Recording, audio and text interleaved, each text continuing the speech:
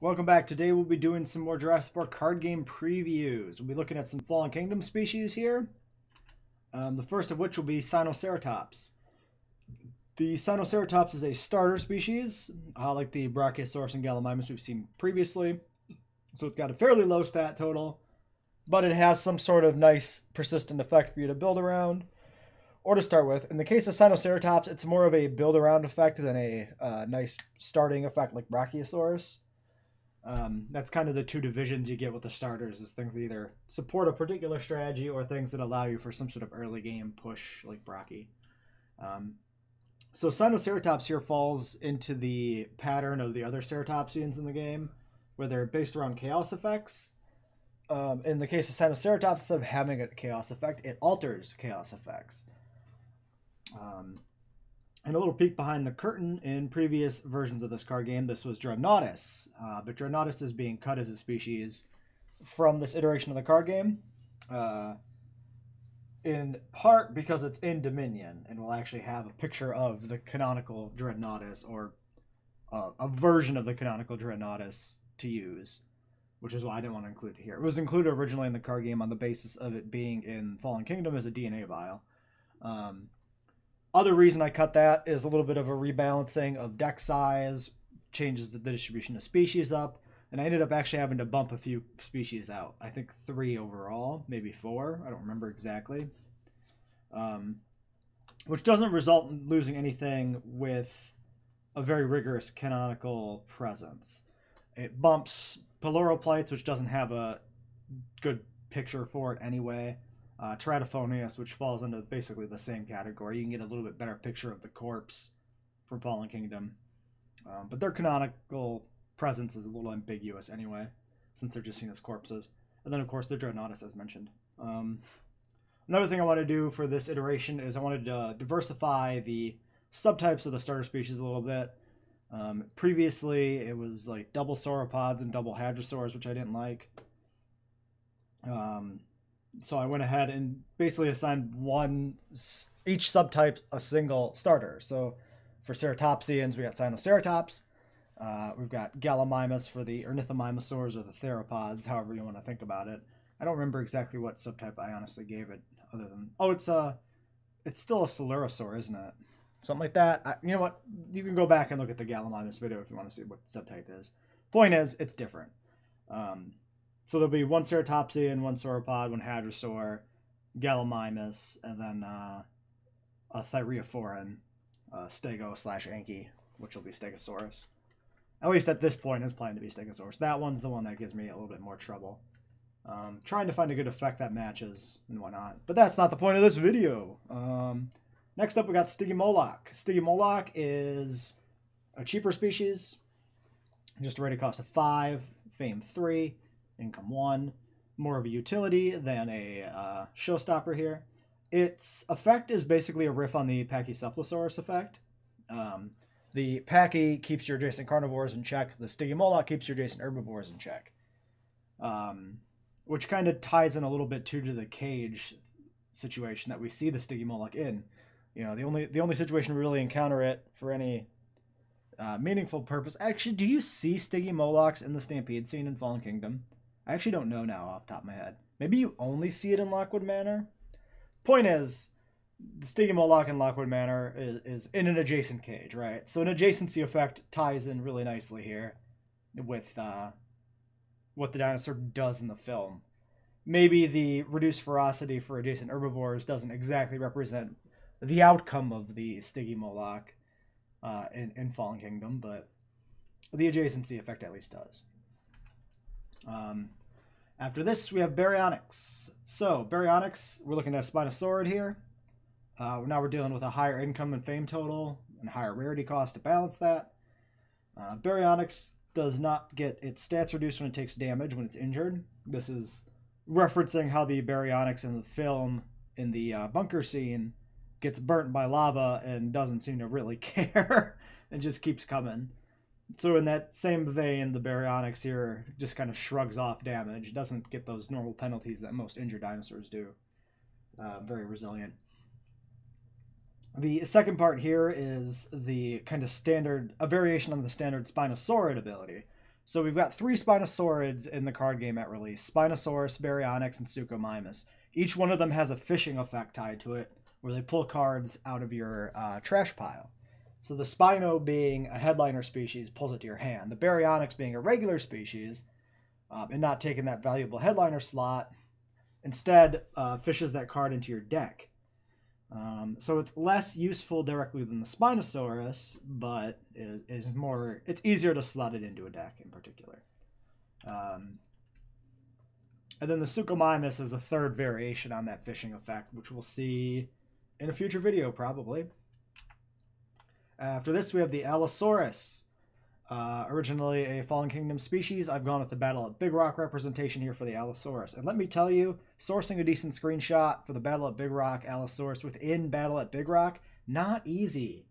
Uh, this is the second image I've used for this since the original iteration. The original one I was not happy with because it it was too it was maybe a little bit easier to see detail, but it showed less of the dinosaur and it was not as obviously the Allosaurus. This picture I like because you can see the the horn on the head. You can see the teeth. You can see, you know, the posture. It gets a little bit better idea of the body shape of the Allosaurus, although it is still a very dark image. And I've done some post processing, lightening it up here, which has resulted in artifacting a little bit too. So I'm trying to balance basically making the image bright enough to see some detail and keeping the artifacting minimal from uh, up in the contrast. Um, so yeah, I've considered bumping the Allosaurus or using the trailer shot from Dominion on it now. Um, but it, it should be in here. It's in Fallen Kingdom. Battle of Big Rock is considered part of the release um, the release basis, whatever you want to call it. It's part of the set, basically. So it had to, re- it really did have to be in here.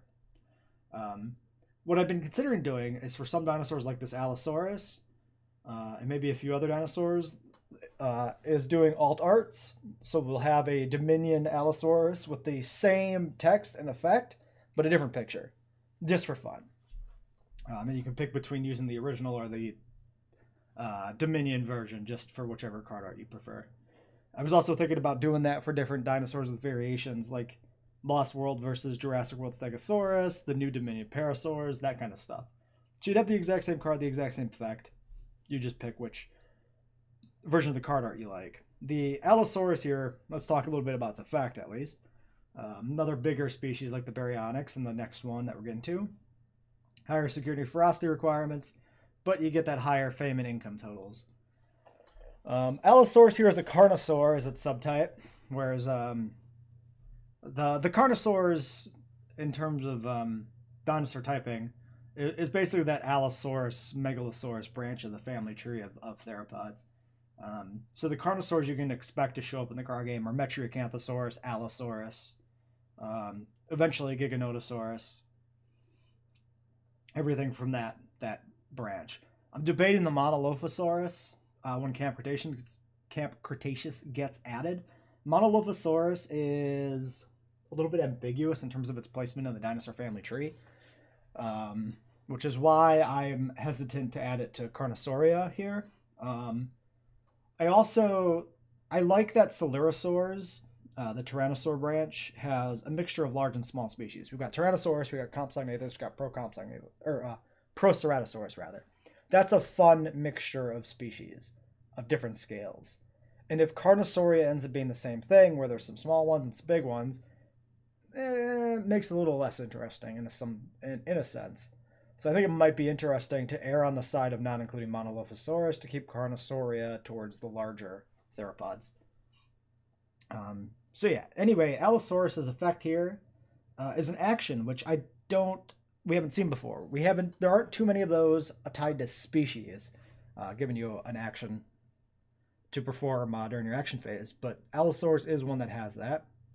Um, the action here is you get the Trash Any Species card from your hand to draw two additional cards. So basically, you're trading a dinosaur you may not be able to bring into your park or want to bring into your park for some fresh draws to cycle some stuff out. Um, and the theming here, the reason this is an Allosaurus ability is it's kind of tying into the major scene with the Allosaurus in Battle Big Rock, being it fighting the Pseudoceratops. The Allo is going after another species. Um, hunting it basically. So this is kind of just a riff on sort of a hunting type ability, even though um, you as the park owner get the benefit from the the quote unquote hunt and not the Allosaurus, obviously, because the Allosaurus doesn't care about drawing cards. Um, it's maybe not the most thematic ability, uh, but it's an ability I liked. So it's kind of a case of having an interesting card ability and finding which dinosaur I thought it fit the best with that I couldn't find a better, more thematic card effect for. And so it ended up, I think, being a pretty fitting effect to put on Allosaurus. Next is Carnotaurus. Um, once again, a fairly medium scale dinosaur here. We're going up a little higher in rarity, um, which is basically just tied to the effect. Um, so Carnotaurus here has a little bit of an interesting quirk in the sense that it's got a very high ferocity total and a very low security rating. Um, so you can keep it contained pretty decently, but when it does break out, you're taking a lot of damage, which kind of ties towards its aggression uh, in Fallen Kingdom and in Camp Cretaceous, basically. Um, the Carnotaurus was contained in a, a separate security paddock, so you kind of make an argument there that, well, I guess the security containment thing is all right, you can contain it. Um, maybe you argue you can't contain it very well because it escapes, but, you know, if every dinosaur had pretty evenly balanced ferocity and security, wouldn't be terribly interesting, so it's fun to have something that skews more towards one than the other. Um, Carnotaurus is considered a ceratosaurid here, uh, Ceratosauria being the predecessors to the abelisaurs. Um, it pains me a bit to not have abelisaurs uh, represented as their own subtype here, but uh, it I needed to err on the side of broader categories to get more usage out of the categories that do exist. If I go hyper specific, you'd have ones and two one or two dinosaurs that represent any given category. It wouldn't be great. Um, so that's why we're, we're sticking with the broader category of ceratosaurid instead of the more uh, derived abelisaurs. Um, Carnotaurus was a card, a species that provided a challenge for coming up with a card effect for quite a while. Um, despite it having some fairly memorable scenes in Fallen Kingdom, they're just kind of fighting scenes, right? Hunting the people at the gyrosphere, getting bodied by the Rex, uh, taking an arm at the end of the film, that kind of stuff. So what I ended up going with is the idea of the. See, the Carnotaurus shows up in that gyrosphere scene, right? Um, which ties into paddock upgrades.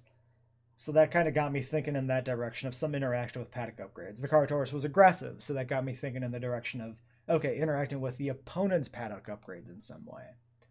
Um, so what I ended up going with was a disabled effect on some paddock upgrades in a rival park, I went for two because it's got two horns. That's that's the thought there. It's uh, you know tiny pieces of theming that kind of connect to make it the overall effect a little bit more themed to the dinosaur. It's not perfect, but you know it gets the job done. Um, so disabling, I don't remember if that's ever come up in our previous preview videos. Basically, it's it's a a temporary uh, shutdown of a, an asset. So if I disable a paddock upgrade, that paddock upgrade's flipped over no longer applies until it is restored by a card effect. Um, and sometimes those card effects are connected to the thing that is doing the disabling.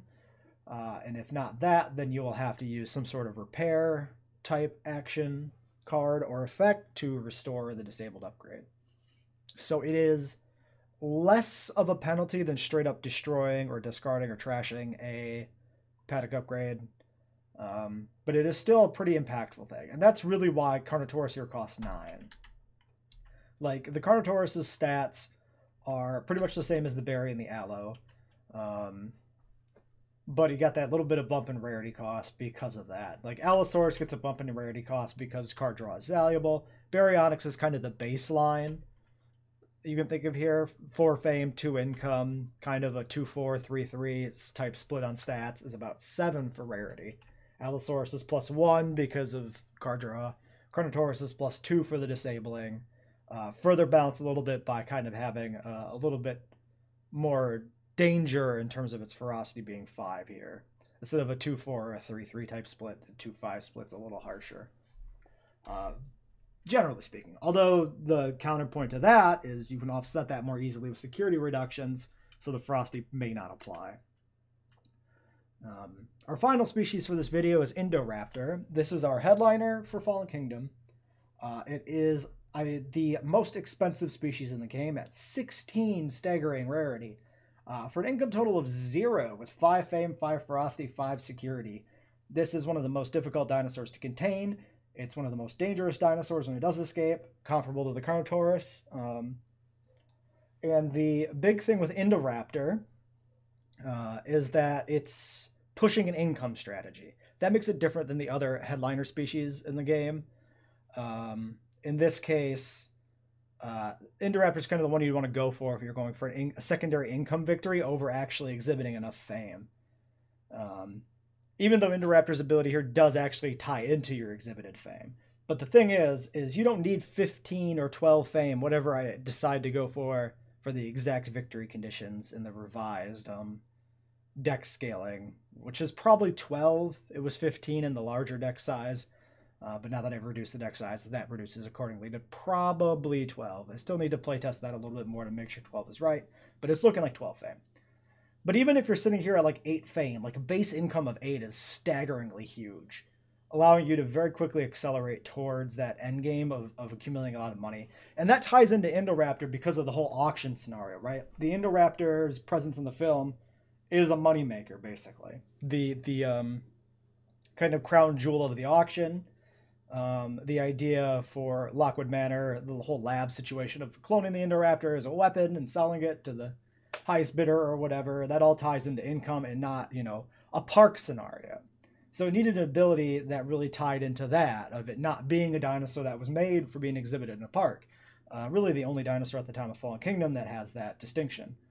Um, the subtypes here on Indoraptor, it's got hybrid, of course, to dictate, you know, that it is a hybrid dinosaur like Indominus Rex and uh, whatever other hybrids make it in, Scorpius Rex and the Spinoceratops when we get to Camp Cretaceous at some point, of course. But uh, for now, it'll just be the Indominus and the Indoraptor. Um, it's a theropod, of course, and Indoraptor gets the distinction of being a raptor. Generally speaking, the hybrids, I'm not going to go crazy with the subtypes on them. Like Indominus Rex could be a Ceratosaurid, a Carnosaur, and a Coelurosaur, and a Raptor. I'm not going to give it all those subtypes. Uh, we're going to skew away from having any other subtypes beyond hybrid for the most part. Indoraptor, though, has Raptor in the title. It is a Raptor. Um, same thing with like Sinospino or Spinoceratops. That'll probably be a Ceratopsian and probably not a Spinosaurid because while it does a, have the, you know the sail and exhibit some Spinosaurid traits, I believe it eats fish, right? I think I remember that. Uh, it's very much a ceratopsian body plan. It, it's so we'll stick with that. Like, really, they get like one clade subtype for like their dominant, um, kind of body plan, right? So raptor here. Indominus Rex probably is not going to get anything beyond theropod and hybrid, just because it's got too many things that all mix together. It doesn't.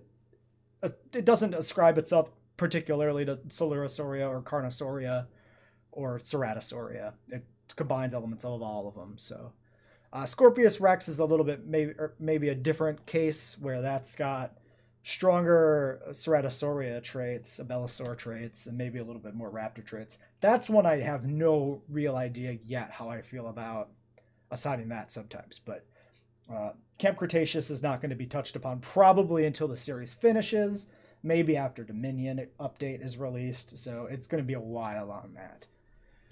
Um, so yeah, that'll be it for this preview video. Uh, until next time.